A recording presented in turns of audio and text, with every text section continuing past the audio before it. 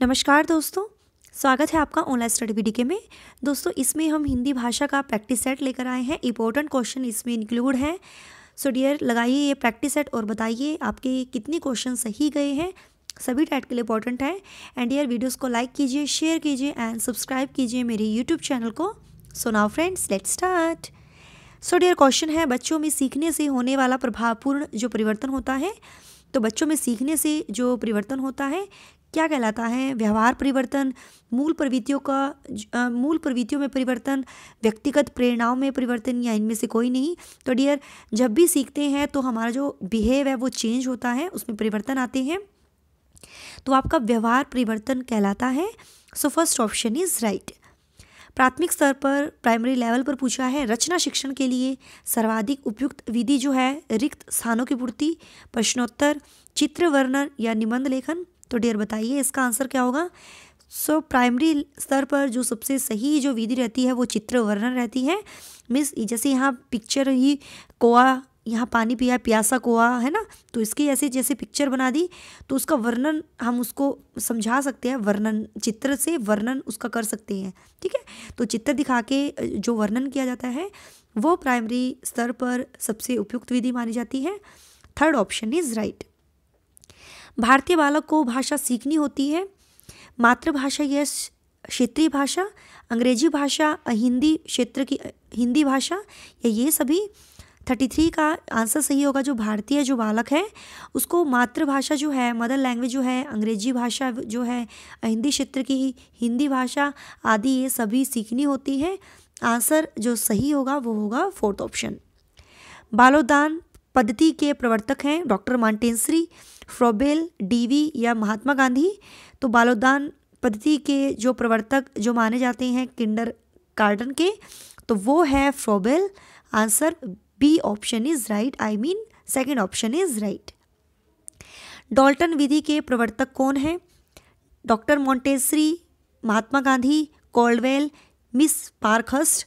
Answer बताना है तो डियर इसका आंसर जो सही होगा वो होगा मिस पार्क हस्ट, ओके?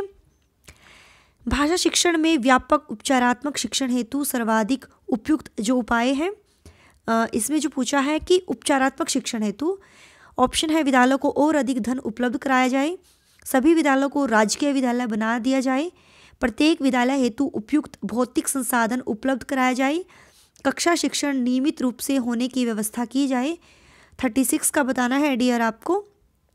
तो इसके लिए जो होता है भाषा शिक्षण में व्यापक उपचारात्मक शिक्षण हेतु सर्वाधिक उपयुक्त जो उपाय है, वो है कि कक्षा शिक्षण नियमित रूप से होने की व्यवस्था की जाए।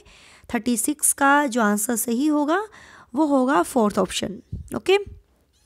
Next question है, त्रिभाषा सूत्र की रचना हुई उन्नीस सौ सतावन उन्नीस सौ पैंसठ, उन्नीस सौ बावन, उन्नीस सौ छप्पन। तो त्रिभाषा सूत्र की जो रचना हुई है वो हुई है उन्नीस सौ छप्पन में। D option is right okay next है, कक्षा में किसी वस्तु का वास्तविक स्वरूप चित्र द्वारा स्पष्ट किया जाना संभव न होने की स्थिति में प्रयोग करना उचित होगा। तो डियर अगर आपको वास्तविक स्वरूप उसका दिखाना है, चित्र द्वारा स्पष्ट न किया जाने पर संभव न हो तो उसकी स्थिति में प्रयोग करना उचित होगा। रेखा चित्र कार्टून, चित्र विस्तारक या प्रतिरूप मॉडल। थर्टी एट का आंसर जो सही होगा।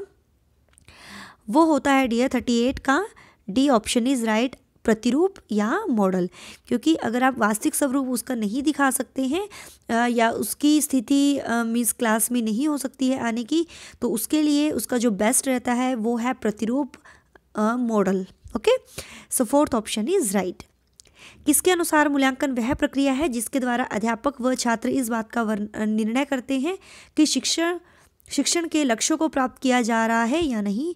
तो किसका ये कथन है? कॉनबेक के, ब्लूम के, एडम्स के, या इनमें से कोई नहीं?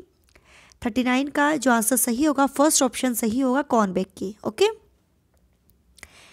हिंदी भाषा के मौखिक व्यवहार में शब्दों का शुद्ध उच्चारण निर्भर करता है। ऑप्शन है बोलने के बल पर बोलने के सुर पर, बोलने के अनुतान पर या इन सभी पर फोर्टी का जो आंसर सही होगा, हिंदी भाषा का जो मौखिक व्यवहार है, उसमें शब्दों का शुद्ध उच्चारण बोलने पर बल दिया जाता है कि वो शुद्ध उच्चारण करें और बोलने के जो सुर है, ऊपर नीचे ना हो और बोलने के जो अनुतान है, इन सभी पर निर्भर करता है। So fourth option is right एक समावेशी कक्षा में भाषा शिक्षण की समस्या है इंक्लूसिव क्लास में भाषा शिक्षण की समस्या है। उपयुक्त भाषा परिवेश का निर्माण न होना पाना, न हो पाना, उपयुक्त पाठ्य सामग्री का अभाव, विद्यार्थियों की योग्यताओं में भिन्नता होना, विद्यार्थियों में असमान रुचि का होना, फोर्टी वन का जो आंसर सही होगा, वो होता है डियर एक समावेशी कक्षा में भाषा शिक्षण की जो समस्या होती है, वो भाषा प्रवेश प्रवेश का निर्माण न हो पाना क्योंकि विशेष आवश्यकता वाले जो बच्चे होते हैं, जब तक उनको अपने अकॉर्डिंग इन्वॉल्वमेंट नहीं मिला नहीं मिलता तो वो भाषा नहीं सीख सकता okay answer first option is right व्याकरण, शिक्षण का भेद है। औपचारिक व्याकरण पाठ, व्यवहारिक पाठ, प्रासंगिक व्याकरण पाठ या ये सभी। फोर्टी टू का आंसर जो सही होगा, वो हम बताते हैं तो डी ऑप्शन सही होगा। औपचारिक जो व्याकरण जो पाठ होता है, व्यवहारिक जो पाठ होता है, प्रासंगिक जो व्याकरण पाठ होते हैं तो ये व्याकरण शिक्षण के भेद होते हैं। आंसर इसका जो सही होगा, फोर्थ ऑप्शन इज़ राइट। अगला है, ग्रहा ग्रहात्मक कौशलों में शामिल है। सुनना, पढ़ना, बोलना, लिखना बोलना, लिखना या पढ़ना, लिखना। तो जिसे हम ग्रहण करते हैं, ग्रहात्मक कौशलों में जो शामिल हैं, फोर्टी थ्री का, थर्ड ऑप्शन सही होगा, बोलना और लिखना। ठीक है? तो answer third option is right निम्न में से मातृभाषा शिक्षण का ज्ञानात्मक उद्देश्य नहीं है। भाषिक तत्वों का समुचित ज्ञान प्राप्त करना, विषय वस्तु का ज्ञान प्राप्त करना, उच्चारण का ज्ञान प्राप्त करना या रचना कार्य के विभिन्न रूपों का ज्ञान प्राप्त करना फोर्टी फोर का। थर्ड ऑप्शन सही होगा, उच्चारण का ज्ञान प्राप्त करना। क्योंकि डियर इसका जो होता है ना जो भाषिक तत्व होता है, उसका समुचित ज्ञान प्राप्त करना और विषय वस्तु का ज्ञान प्राप्त करना और डियर रचना कार्य के जो विभिन्न रूपों हैं, उनका ज्ञान प्राप्त करना तो होता है। ये ज्ञानात्मक उद्देश्य है, लेकिन जो उच्चारण का जो ज्ञान है, वो प्राप्त करना, वो ज्ञानात्मक उद्देश्य नहीं कहलाता है मदर लैंग्वेज टीचिंग का ओके त्रिभाषा सूत्र में, त्रिभाषा सूत्र में उच्च प्राथमिक स्तर पर किस भाषा के शिक्षण को प्राथमिकता दी जाती है? तो बताना है मातृभाषा अंग्रेज़ी, विदेशी या संस्कृत? फोर्टी फाइव का आंसर सही होगा, वो मातृभाषा को की जाती है। First option is right. अब डियर, ये हमारा पद्यांश है तो आप इसको ध्यानपूर्वक पढ़िए और आप इसको पोस्ट करके पढ़ सकते हैं। हम डायरेक्ट इसके क्वेश्चन करते हैं। कभी दुनिया में औरों का नहीं, हम छीन कर खाए, पंक्ति का आशय है। तो आप ऑप्शन देख लीजिए डियर, इसका आंसर जो होगा फोर्टी सिक्स का, हमने अगर पद्यांश पढ़ा होगा अच्छे से तो आपको पता चल जाएगा, इसमें बताया कि हम हम अपने कमाए धन पर संतोष करें, ठीक है? हम सेटिस्फाई हो अपने द्वारा जो कमाया गया जो धन है। गौरव शब्द का पर्यावाची है तो गौरव शब्द का जो पर्यावाची है वो सम्मान कहलाता है। राष्ट्रीय झंडा प्रतीक नहीं है तो किसका नहीं है पूछा है? फोर्टी एट का, अहंकार का, ओके? झंडे को प्रेरणा का बल किस लिए कहा गया है तो क्यों कहा गया है तो आप ऑप्शन देख लीजिए। तो वो है फोर्टी नाइन का थर्ड ऑप्शन सही होगा राष्ट्र हित के भाव जगाने के लिए। हरा है देश का अंचल, पंक्ति में हरा शब्द वाचक है तो ये किसका है तो ये हरियाली का है तो खेतों की हरियाली का, ओके।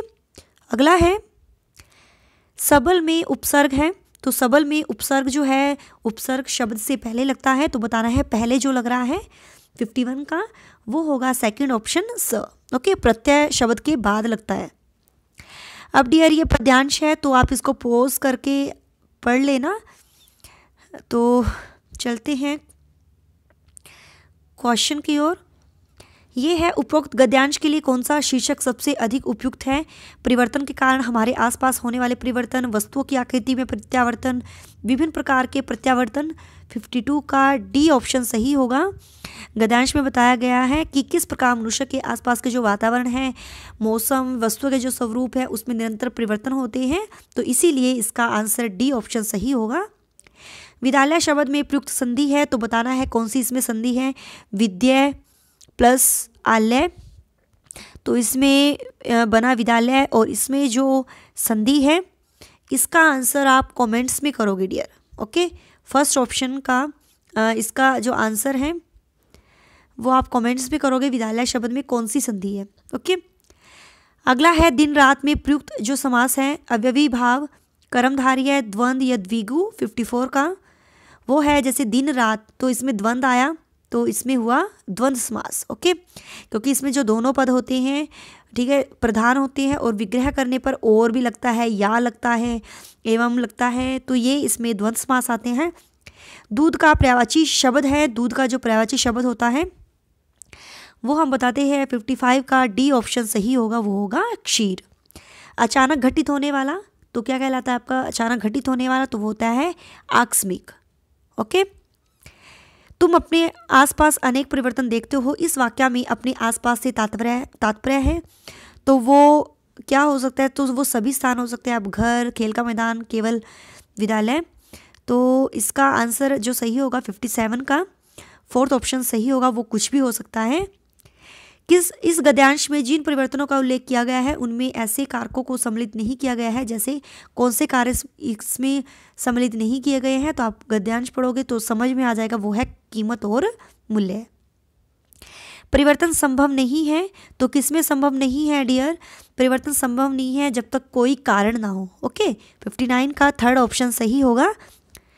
जब कोई, जब तक कोई कारण ना हो अगला है, हमारे आसपास होने वाले परिवर्तनों में से नीचे किन का उल्लेख नहीं किया गया है? तो किसका उल्लेख नहीं किया गया है? सिक्सटी का। सेकंड ऑप्शन सही होगा, वो होगा नदी का मार्ग। ओके? क्योंकि इसमें बताया है कि जंग लगना जो होता है, पानी का भाप बनना, भोजन पकाना, ये तो परिवर्तनों का उल्लेख है। जबकि नदी का मार्ग बनना, ये परिवर्तनों का उल्लेख नहीं किया गया है। इसीलिए सेकंड ऑप्शन है। सो डियर यही थे आज के क्वेश्चन जो प्रैक्टिस सेट में थे हिंदी के। अगर वीडियोस अच्छी लगी है सो प्लीज़ ज़्यादा से ज़्यादा लाइक कीजिए शेयर कीजिए एंड सब्सक्राइब कीजिए यूट्यूब चैनल को। टिल देन बाय रब राखा जय भोलेनाथ